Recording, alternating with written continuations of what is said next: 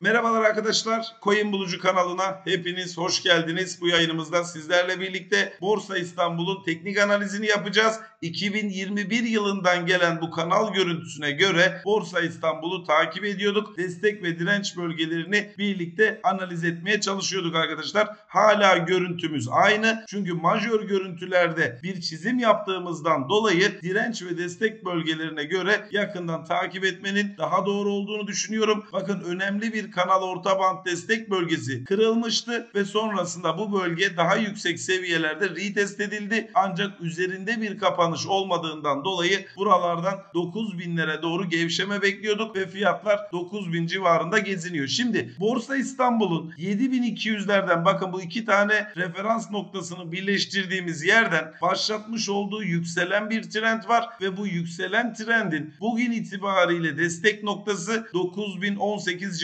civarından geçiyor. Yani Borsa İstanbul'da 9000'in altında kapanışlar olmadıkça bu bölgenin destek bölgesi olduğunu konuşuruz. Zaten burada bakın 3-4 gündür fiyatlar desteğe yakın yerlerde geziniyor. 9000'in altında fiyatlarda baskılanma bekleriz şeklinde düşünüyorum. Şimdi şunu soracaksınız. Peki hocam 9000'in altına gelmedi fiyatlarda bir yükseliş gördük. Ancak yükseliş trendinin tekrardan başlayabilmesi için hangi seviye en kritik seviye dediğiniz noktada bakın buradaki yatay direnç noktası bizim karşımıza geliyor. Yani 9230 olarak görülüyor. 9230'un üzerinde Borsa İstanbul kalırsa tekrardan kanal orta bandını test etmeye gitmesini bekleyeceğiz. 9230 yukarı yönlü aşılamazsa benim şahsi görüşüm Borsa İstanbul'da al pozisyonu oluşmayacaktır. 9230'un altında kaldığı sürece fiyatlarda baskılanma olacaktır. Belki de şöyle bir durum olur arkadaşlar. Bakın 9000'lerin altına gelir ve buradan 9230'lara doğru bir tepki hareketi yapar. Oradan sonra düşmesi beklenti dahilinde olabilir. Çünkü yükselen trend kırılırsa kırıldıktan sonra bir düşüş olur. Sonrasında 9230'lara doğru bir tepki yükselişi gelebilir. İşte orası son derece önemli bir durum olacak. Onun üzerinde kalırsa bir yükseliş trendi bekleyeceğiz. Ancak 9230'un altında fiyatlar kaldığı sürece o bölgeye oluşan tepki yükselişlerinde satış fırsatı olarak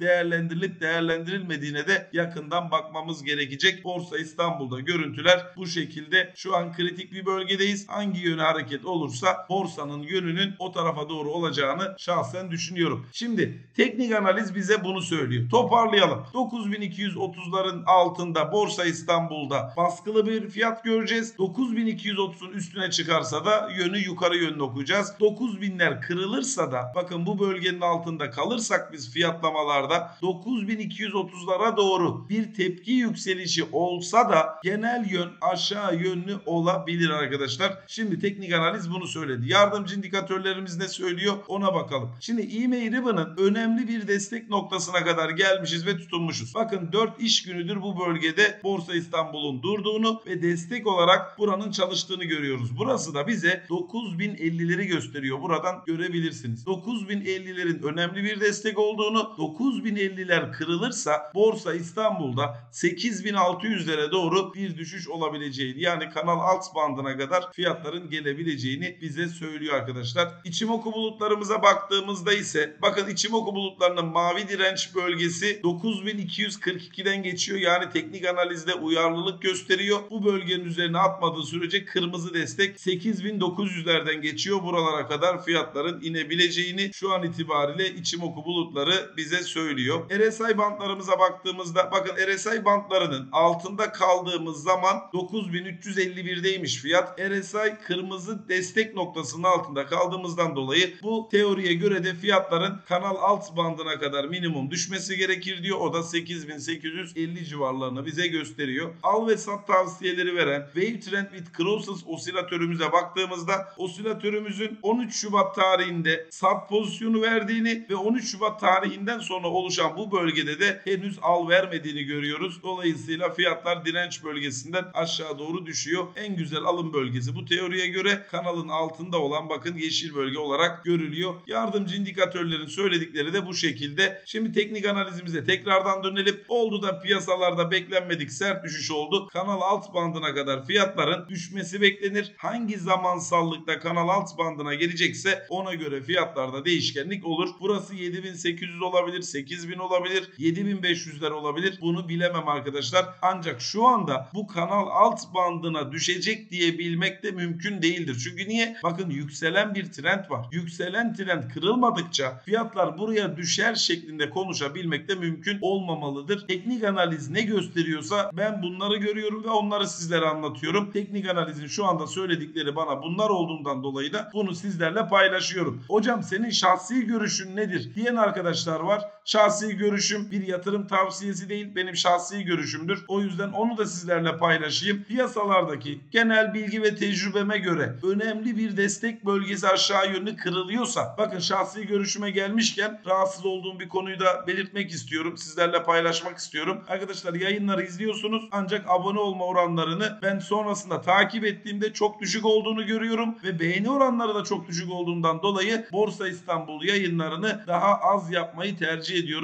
Lütfen Borsa İstanbul'da daha sık yayın istiyorsanız veya her gün Borsa İstanbul'un incelenmesini istiyorsanız izlemiş olduğunuz videonun altındaki beğeni tuşunu ve abone olma tuşunu da kullanmanızı sizlerden istirham ediyorum. Önemlidir benim için çünkü bu beğeni oranlarına göre bu abone olma oranlarına göre ben bakıyorum. Onlarca hisse senedi var ve onların içerisinden hangisi daha fazla beğenilmişse ben geliyorum onları analiz ediyorum. Takdir edersiniz ki beğenilmeyen bir şeyi de yapmak istemez kimse. Ben de istemem. O yüzden Borsa İstanbul yayınlarını daha sık istiyorsanız lütfen beğenmeyi ve abone olmayı da unutmayalım. Zira ben bu yayınları sizler için yaptığımı ve herhangi bir ücretli tarafımın da VIP üyelik gibi özelliklerin de gruplarında olmadığını hepiniz çok yakından biliyorsunuz. Şimdi geldik şahsi görüşümüze. Benim şahsi piyasa görüşüm şunu söyler. Bakın teknik analizi kaldırıyorum. Teknik analize göre bir anlatım yapmıyorum. Önemli bir destek bölgesi kanal orta bandı kırılıyor ve sonrasında retest ediliyor da aşılamıyorsa burada olduğu gibi retest ediliyor ve aşılamıyorsa genel beklenti kırılan bölgenin retest hareketinin yapılmasından kaynaklı fiyatlarda sert bir düşüş gelmek suretiyle kanal alt band seviyesine doğru fiyatların düşmesidir. Genel benim piyasa görüşüm budur. Geçmişte ben yapmış olduğum analizlerde görsele dayalı izlenimlerimde bunları görmüşümdür ve bunlar olabilme ihtimali de benim şahsi görüşlerimdir. Ancak piyasa şu anda benim şahsi görüşlerim ile aynı hareket etmiyor. Yani yükselen trend kırılmadığından dolayı teknik analiz bana kanal alt bandına düşer demiyor. Ama geçmişte bu şekilde olduğundan dolayı önemli bir destek kırılıyor ve sonrasından retest ile test ediliyor. Üzerinde de kalamıyorsa genel itibariyle trendin altına fiyatların düştüğünü ben görmüşümdür. O yüzden de benim şahsi beklentim fiyatların kanal alt bandına gelme ihtimalidir. Umarım böyle bir şey olmaz. Umarım enflasyona yenik düşen bir borsamız olmaz ve daha da primlenir. Daha yüksek yerlere gider. Yatırımcısına kazandırır diyelim. Hepinize teşekkür ediyorum. Hepinize bol kazançlar diliyorum.